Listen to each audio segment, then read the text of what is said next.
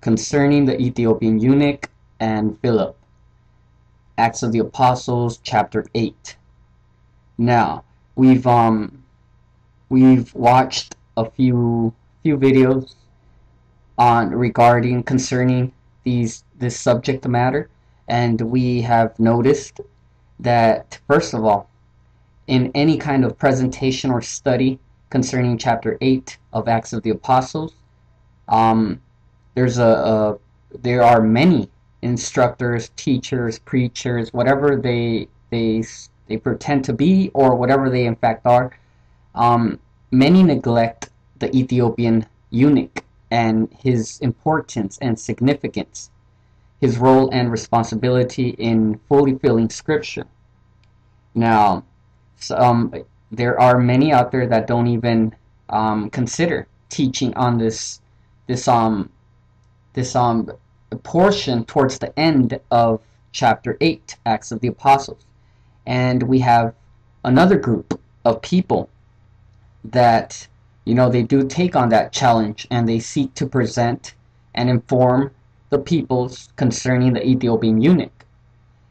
But we find that often if not all the time well actually to be completely honest um, we've yet to encounter a teaching in which the Ethiopian eunuch is not in some way downplayed or ridiculed or labeled this, labeled that, or um, you know, basically, uh, there is there is this um, I guess like this need for individuals to to downplay the role and significance of the Ethiopian eunuch.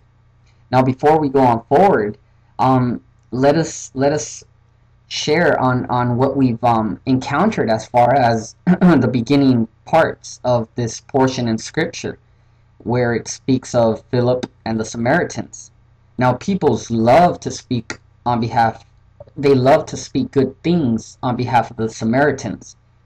Um, many boast of the Samaritans. They exalt the status and life character of these Samaritans. They praise, they glorify, they make, they, you know, they make it seem as if um, the Samaritans are are um are highly honored, are peoples to be highly respected and honored. And in fact, I mean, if one's read chapter 8 of Acts of the Apostles, one reads the complete opposite. First of all, Acts of the Apostles, uh, we believe, we accept that is after the time of Geta Jesus Christos. And if we are correct, then the Samaritans are off to a really bad start, being that in, in um, chapter 4, we believe, of, of Johannes Wengel, Edus, Johannes, uh, St. John, the Gospel of St. John, we believe um, that chapter 4, where where Geta Jesus feels a little tired, he sits on on this well and behold a woman you know? And you know this woman eventually calls the men of the city of the samaritans and um and you know as far as we are concerned if we remember correctly the samaritans believed that jesus christos was him of who scripture is referring to. And they even say that it's not because of the woman's testimony rather than it is because they have heard him himself, and even Geta Jesus um, abides with them for, for some time. And how is it that chapter 8, Acts of the Apostles, um, these individuals seem to be seem to be um, bewitched by the sorcery of one Simon. And, you know, accept, believe Simon, these Samaritans um, believe this Simon to be uh, a mighty one, a great one.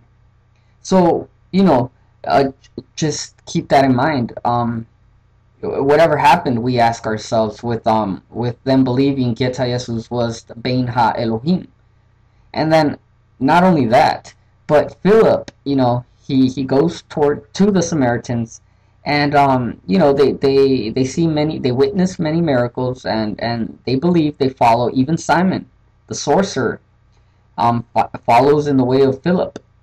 And Philip baptizes the Samaritans, but only in the name of Geta Jesus Christos. And when the elder apostles or or um or the more well-known apostles in Jerusalem uh, become aware that the Samaritans had received, they send two of the more well-recognized, excuse me, they send two of the more well-recognized disciples of Geta Jesus Christos, being John and Peter. Now, it's not to say that they are more than any other other disciples, but um, but these two in particular uh, seem to to appear quite often and um, you know take on very important roles and responsibilities as far as holy scriptures and so they send john and peter right after they've been baptized in the name of Geta Jesus Christos by Philip. And the first thing they do, they pray. They pray that these Samaritans may receive the Holy Spirit. Now something very interesting happens. John and Peter lay their hands upon the Samaritans, and behold, they they um they receive the Holy Spirit. Except, uh, if one does diligent research, ones would come to know that the laying on the hands is more of a partaking of a of a taking the apostles took their portion. They they gave them a hand. They helped them out. And um in this case the word the the original word for holy spirit even though the the scripture says holy ghost which is false and incorrect um if one seek at least blue letter bible dictionary leads to um to conclude that holy holy spirit in this sense in this particular um scripture and it is acts of the apostles give we just one second to look that up acts of the apostles chapter 8 uh, we're thinking it's verse 17, but hold that thought. Um, it is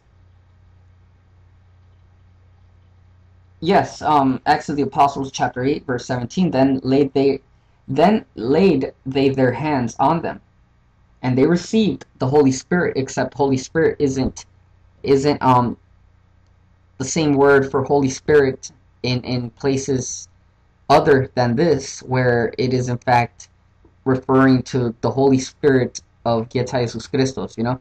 Um, forgive me if that confuses any, but do, do, I mean, we advise ones to do their own research. So, you know, there, there seems to be something kind of awkward, kind of off with this whole situation with the Samaritans, kind of like forcing it upon them.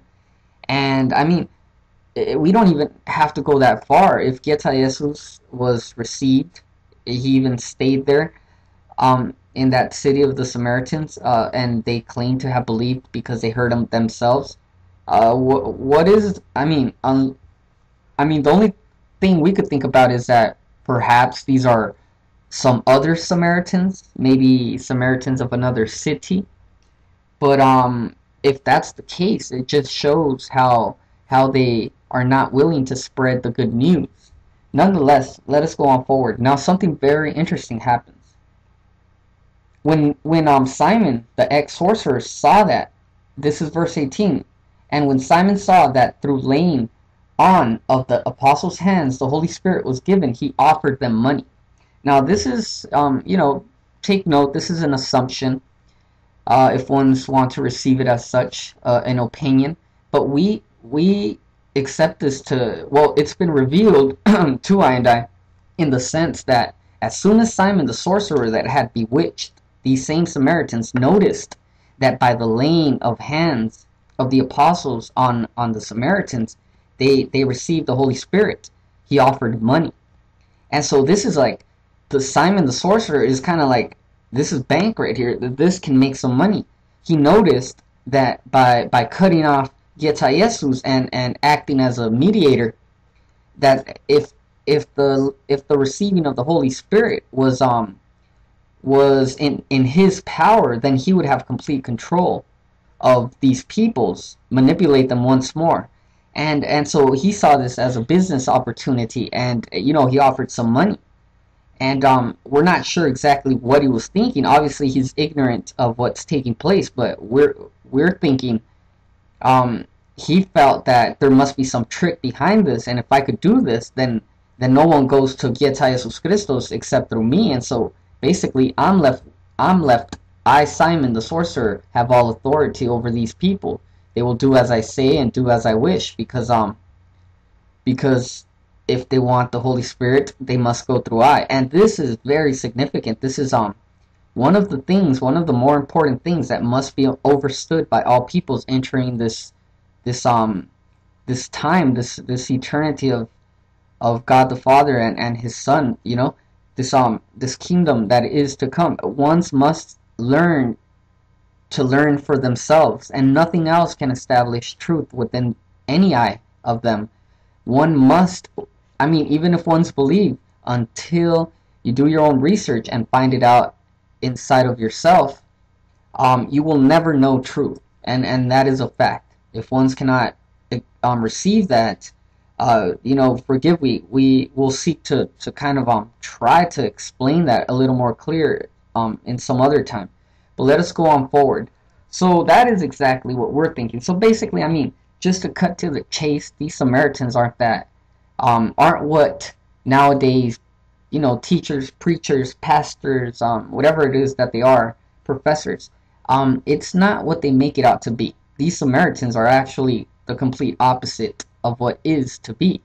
Now, on the contrary, we have the Ethiopian eunuch, which is, if not always, almost always downplayed and made less. You know that it's funny because um, it, well, it is only true that the, last part of, of um the last portion of chapter 8 of Acts of the Apostles, you know, really briefly it speaks of the Ethiopian eunuch.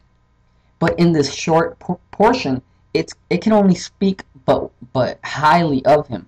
You know, it proves that he's well educated, that he's a man of morals, you know, humble, that he is he is um of great authority, he is um faithful, He's coming from Jerusalem to worship. You know, he's probably got a caravan, a carriage. He's a treasurer, um, a court official maybe for Kandake or Candace, the queen of the Ethiopians. Um, so this is a brilliant mind, this Ethiopian eunuch. Um, scripture has nothing negative to say, only things that are extremely positive, yet somehow people wish to, to downplay this.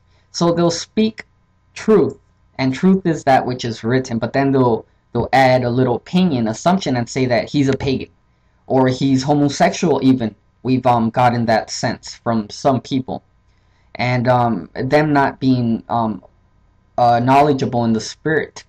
But um yes, we have um we have some outrageous um you know imaginations out there, but it, it's con completely contrary to what Scripture um in fact states um, you know, this small portion uh, speaks wonders and highly of, of the Ethiopian eunuch, yet people seem to think otherwise.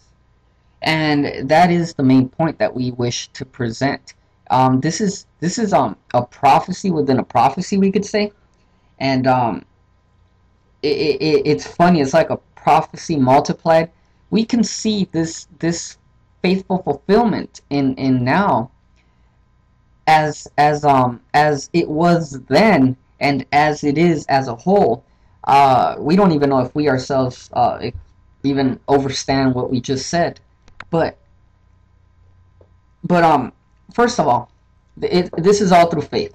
Angel appeared to philip go through gaza you know philip was he didn't even question it he's he took off.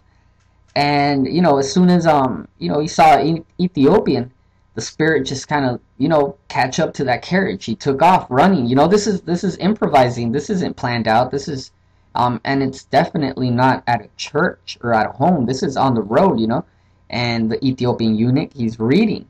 So and which also um testifies to him being being um what he's after his desire what he loveth. He's he's coming from from worship and still he's reading um, scriptures, and in those times, not anyone could have scriptures. So it it it um it shows us the level of importance that this Ethiopian eunuch had.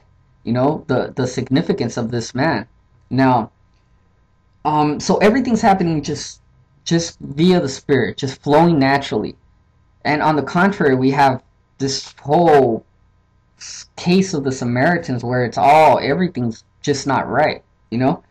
But um, but um, okay, and uh, I guess we forgot to make mention that him reading also proves that he's um he can speak different tongues, and so you know this this scripture only speaks highly of the Ethiopian Ethiopian eunuch, except people seem to to want to fulfill prophecy, right? And and what is to be fulfilled? He is reading Isaiah chapter 53. Isaiah chapter 53 is um the whole chapter is, is about the suffering. I mean, it's about the trials, tribulations, and the sufferings of Geta Jesus Christos. You know, who hath believed our report? It begins. And in this case, who shall declare this generation? You know, who it, who is it that shall declare the truth, this eternal truth, you know? And and and first of all, who hath believed that report, you know? And then it goes on to say, you know, um, he hath no form or comeliness that man should desire him. And so, obviously, the Ethiopian eunuch is not prevented of such, um, such, um, I guess, like not being able to receive. Um, he cares not if there's no form or comeliness. And I guess uh, we give thanks for this that we have just received. Um, the Ethiopian eunuch was, in fact, uh, we accept him to already have received this this man that had no form or comeliness, no measure, no no you know, the, the Ethiopian eunuch was under the shadow. He was he he was knowledgeable in the shadow, in the in the in the symbology, in the type. You know, he we accept him to have already received Geta Jesus Christos. He was looking for him, except he did not have a man to to fill the character and the life of Geta Jesus Christos, the Savior. And so um, we kind of jumped a little ahead, right? But but that is in fact what's taking place. He's reading, and and he desired to know Geta Jesus Christos, and so everything works out perfect. This is perfect timing. Everything's just happening the way it is to happen, and and this is verse Acts of the Apostles chapter eight verse verse Psalm thirty. And Philip ran either to him. Oh, excuse me. And Philip ran thy there to him and heard him read the prophet Isaiah, and said, Understandest thou what thou readest? And you know, if one's due diligence in, in looking up the the the root words for this, it appears as if it says, um, read readest thou what thou readest, or kind of like um overstand what you are already overstanding. And so the, the Ethiopian eunuch overstood the scripture, except the scripture had not yet become flesh, and and and therefore Philip is kind of like, do you overstand that which you overstand? And we are going to go one step ahead and say that Philip did not himself overstand that which he had witnessed and and it has been testifying to. We see this as a perfect coming together of a, a fulfillment of Old Testament and New Testament coming to one and how one leads to the other, the other leads to, to the one. Um, the Ethiopian eunuch, um, he knew Geta Jesus Christos but did not have a, a, a man to fill the life and character of this role and responsibility. And Philip had the man, but we think, and this is an assumption, we think that Philip did not have the, the foundation and the knowledge of him whom he had witnessed and whom he had believed. And so this is we see this as perfect coming together and that one minute where one teaches the other and the other teaches the other.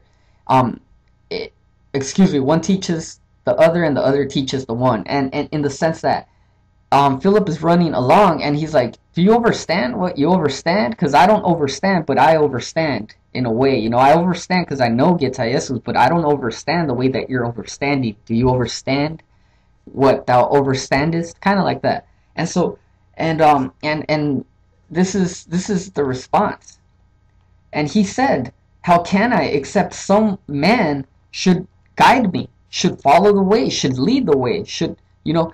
How can I if if if I don't if there is not this man Geta Jesus Christos, you know, like not necessarily asking Philip to teach him, but kind of like yes, in a way.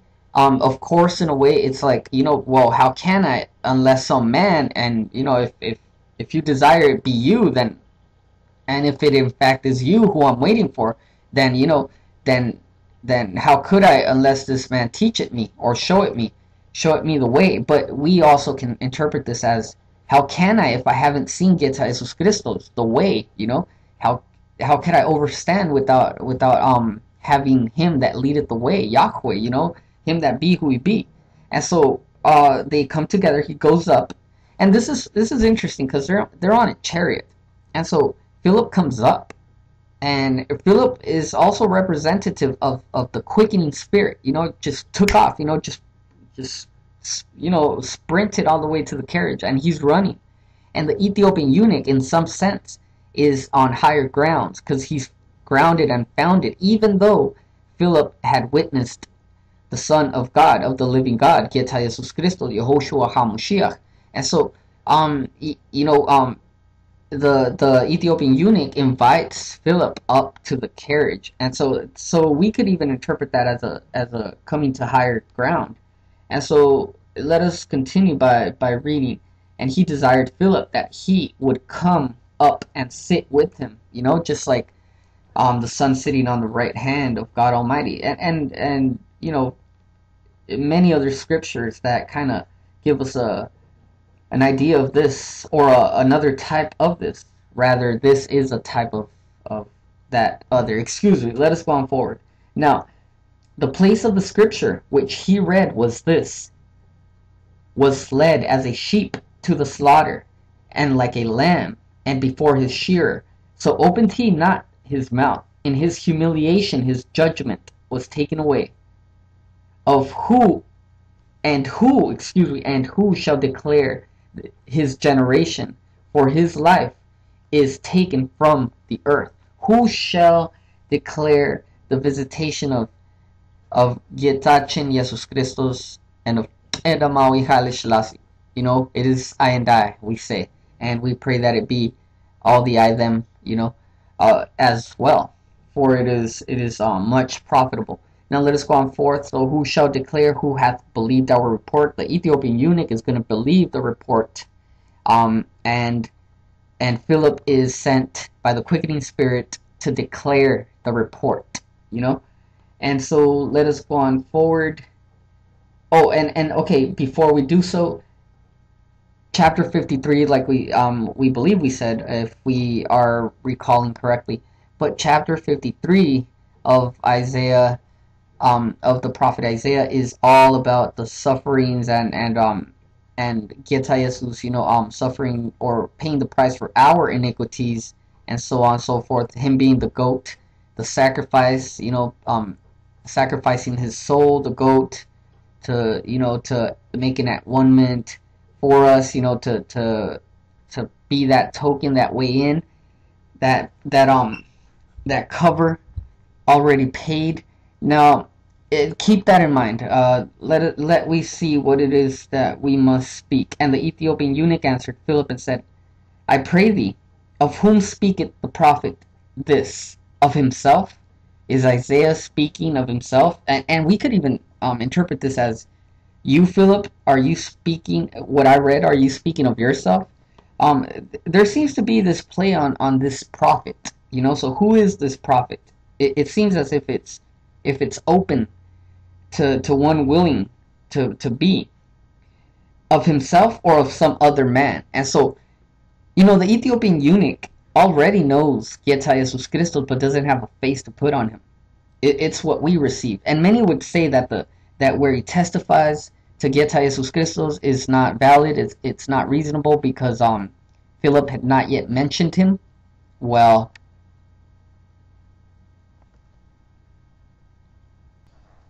the Ethiopian eunuch already already was seeking for a man. You see, that's that's exactly what we just read, and so, you know, Eh, that is one of the reasons that they they like to pretend that that verse was never there. But um like everything else it'll just it'll just make perfect sense once we um just complete this uh this observation. Now uh we left off himself. Philip opened then philip opened his mouth he he opened the off he loosened the seals were loosened and he spoke you know and the earth trembled the ground shook the earth quaked, the mountains they skipped like ram, you know the little hills like lambs, you know the Jordan. What a oh Jordan, you know what ail thee that thou fleddest, that thou turnest back, you know.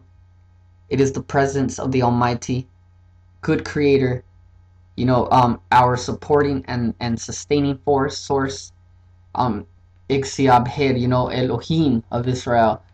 Now, Amlakachin even. Uh, what we're trying to say is that um, we just have to put that out there because um, we accept that chapter seven of Acts of the Apostles is a foundation that that'll that'll build to the events that take place on chapter 8 where chapter 8 is describing two different peoples one of the spirit and one natural that that even in their naturality cannot cannot do anything with it because they are they are not capable of receiving truth now there's even this kind of like play we're not going to say that this is the case but there seems to be one kind some kind of um some flip taking place kind of like Ephraim so there are two peoples, but the ones that they call the, the, the original Jews or Hebrew people seem to be the ones that don't really get it. Now, we're not saying that this is the case, but it would make kind of sense because in this time, everyone calls the Ethiopian eunuch a Gentile, a pagan, you know, a, a barbarian.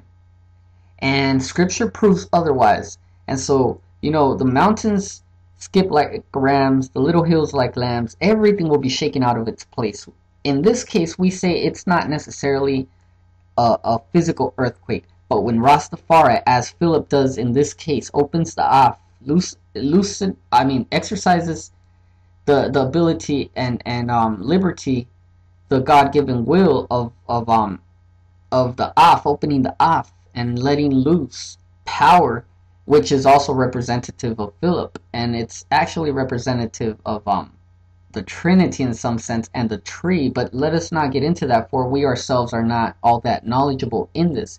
But when Rastafari opens the off and let, um, excuse me, um, because of the seals being loosed by God the Father, Qedamawi Haile then the earth shakes like like like no physical shaking can ever do we speak truth and everything falls upside down. You know, everything, people get flipped upside their head. People turn in their graves. The dead turn in their graves. Mountains move from one place to another. Mount Zion moves to another location because they have to run because it turns out that it, they were they were in the wrong position. You know, the Jordan has to flee back. It turns back because it, it feareth the Almighty the all the presence of the Almighty upon earth, and it must run back to to its vain imagination, for it is not thus, you know.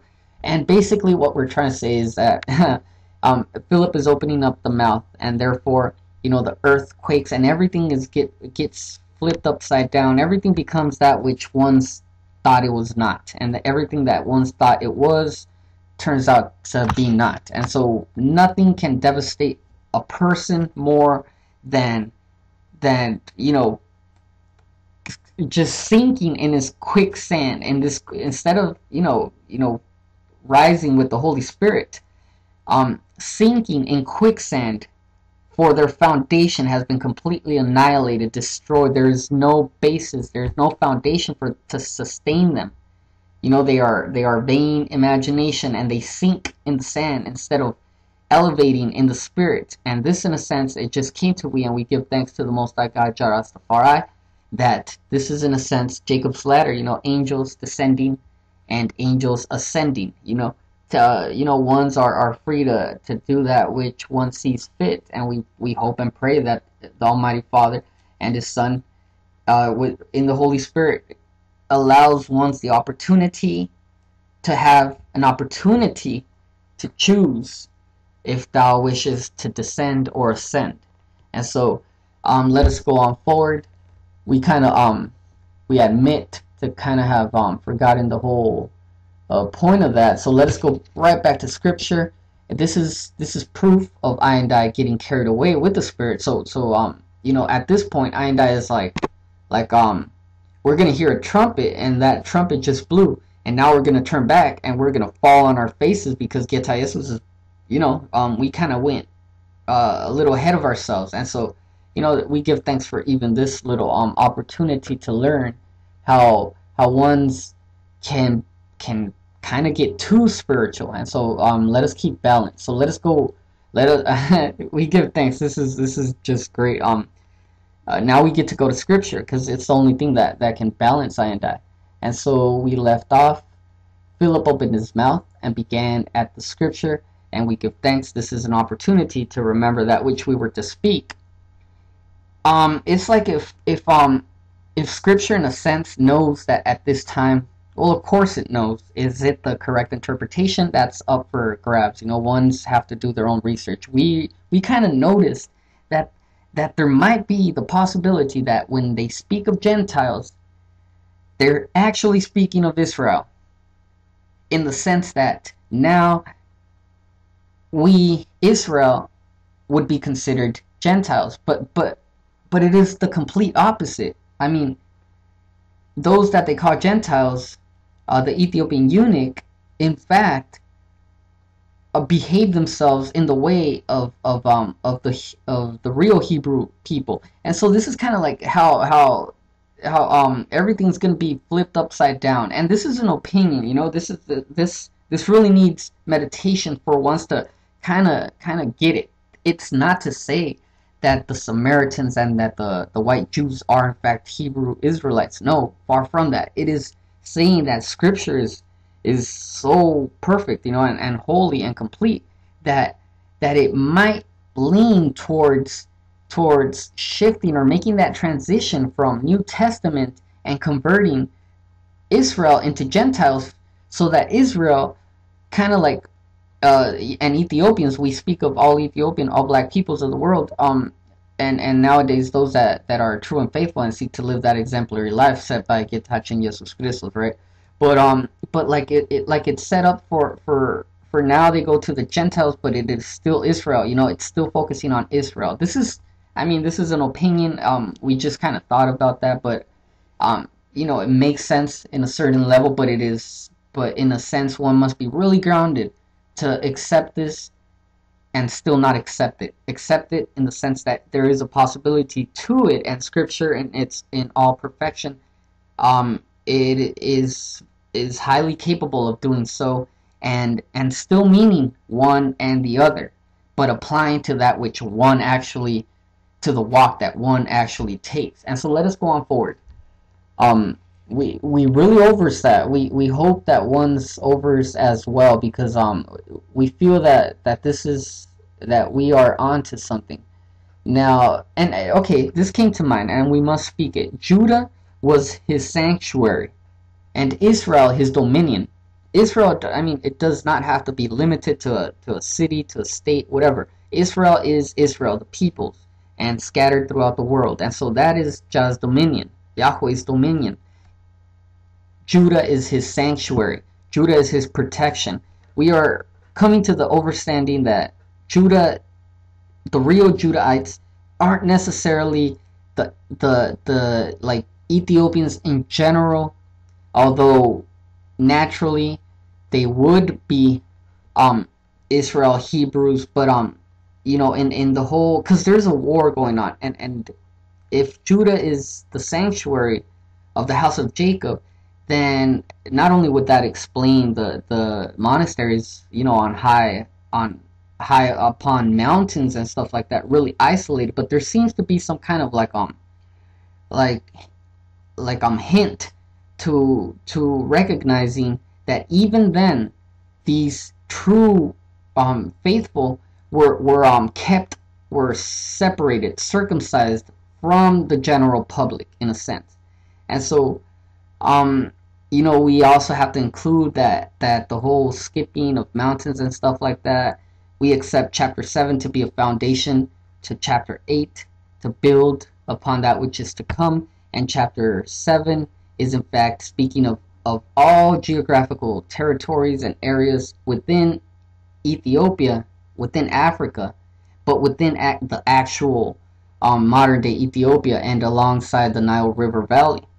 Now, ones would object because we've even had we've even been challenged, um, and and you know, be, and their their their evidence or, or they were backed up by the by the opinion assumption or more of an opinion. They claimed that that how could that be so? How could Beth El as we have said ourselves um how could Beth El be in Ethiopia just because um it scripture says that they went from Egypt to the south and then he mentioned this individual mentioned that that um that all the biblical locations in the modern day maps fit and that they make sense and that they're kind of practical.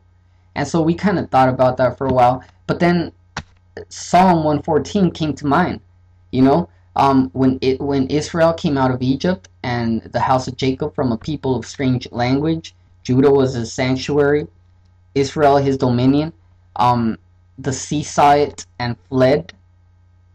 Uh, the let us go to that we kind of forgot the rest. Um, Psalms, excuse me. It, it seems as if this has nothing to do with it, and you know, it, it might as well have nothing to do with it. But if we accept that all Scripture is one, then it has everything to do with it, even if we are not able to present what has to do. You know. So let us go on forth, and it reads um, sea saw it and fled. Jordan was driven back. The mountains skipped like rams, and the little hills like lambs. What ailed thee, O, o, o thou sea that thou fleddest?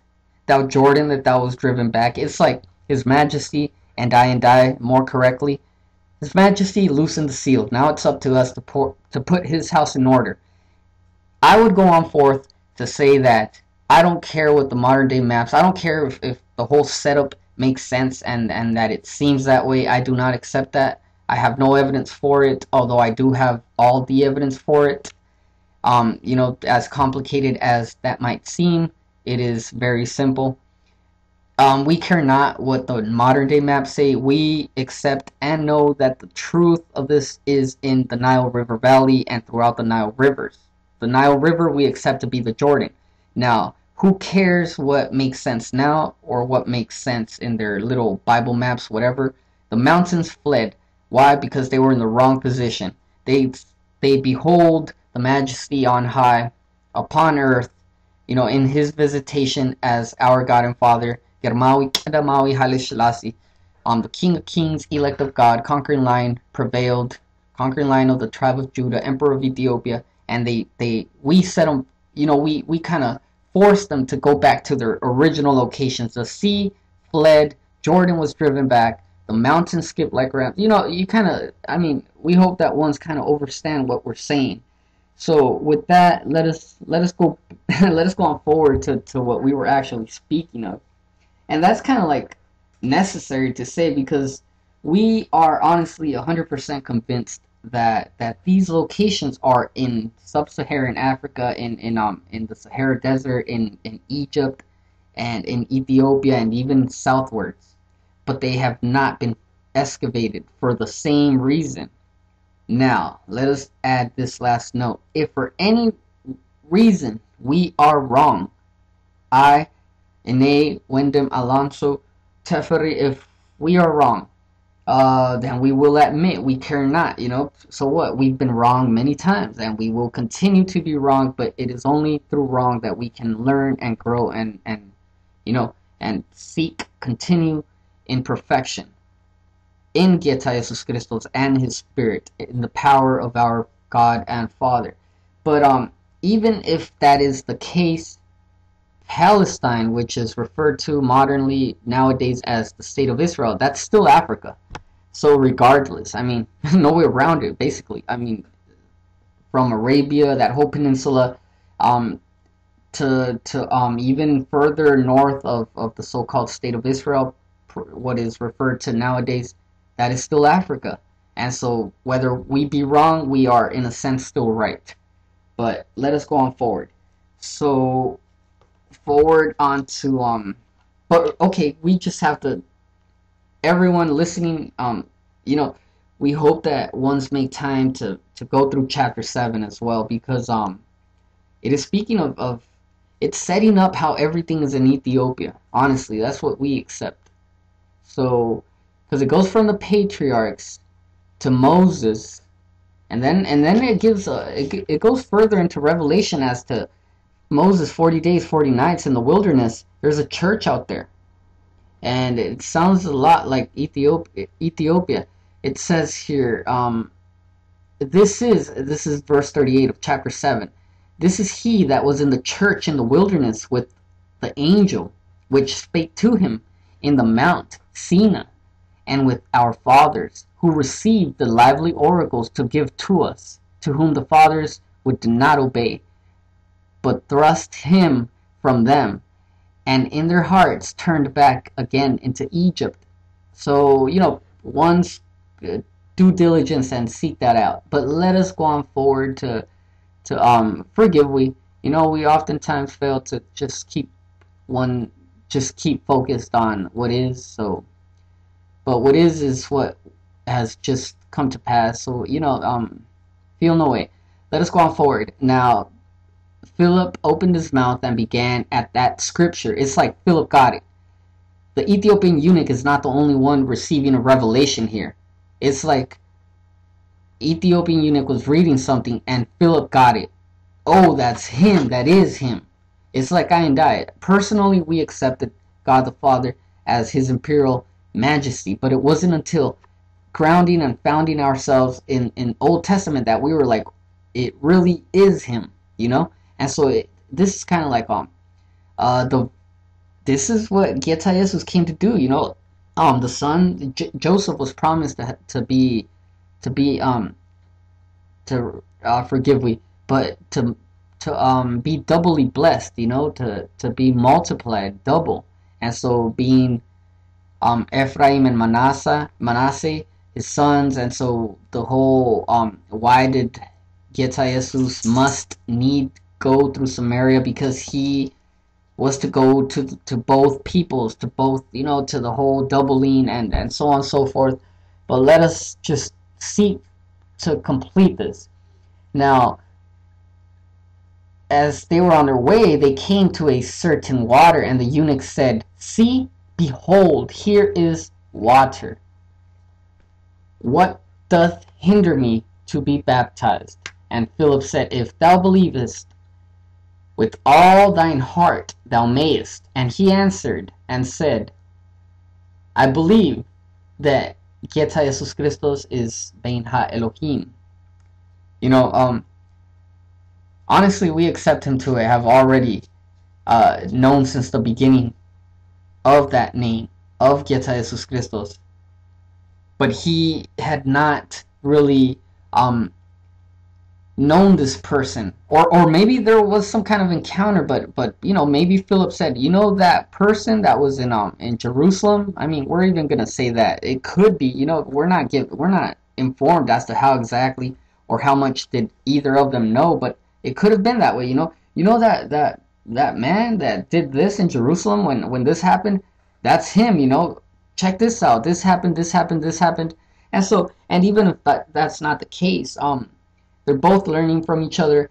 Uh, regardless if he did not know the name Geta Jesus Christos, the Ethiopian eunuch at least had the foundation. He was looking for a certain man to lead the way, to guide him uh, to life everlasting, life more abundantly, and and thus resulting in, and he commanded the chariot to stand still. Peace, we say. And he went down both into the water. So he died. Um, he took on death. He, he and he didn't even think about it. It's like there's water. Let's go do this. A lot of people have to have to have to um. It's a serious. Well, at least before it must have been more of a serious um decision, being that they're older. I mean, if you're a baby and you get baptized as I did, uh, you really have no say in it. But now, as a grown up, it's only if you're really serious that you even consider it, unless you're looking for some kind of monetary um, gain or some kind of um, you know, advantage, whatever the case may be. So both Philip and the eunuch. So, so both Philip and the eunuch. So both Philip and the eunuch, they both die in that moment. They both lose themselves. You know, they give up the soul, and and and this is what happens and he baptized him. Who baptized who? We, we are going to say that Jesus Christos baptized both of them. The Holy Spirit baptized both of them. They're not at a church. They're not, I mean, they just did what was written, but the Holy Spirit, we we think, we assume, we assume that took over, both of them. You, you see, oftentimes they por- they poorly portray what is, uh, uh, in reality, uh, a beautiful eye trait. Um, they poorly portray false, vain imaginations as Philip, a white man, at that. You know, th- that makes it even worse. But they they always put Philip baptizing or you know um submerging the Ethiopian eunuch, but Scripture uh, proves otherwise. Both of them so we are going to say that the Holy Spirit baptized both of them right right then and there. Um, not one the other or the other the one. You know, even that, and we give thanks to the Most High God because um we had not noticed that.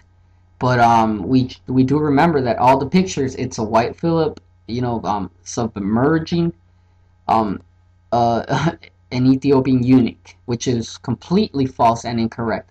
But let us go on forward. And when they were come up out of the water, the Spirit of the Lord, in this case we believe it says Yahweh, caught away Philip.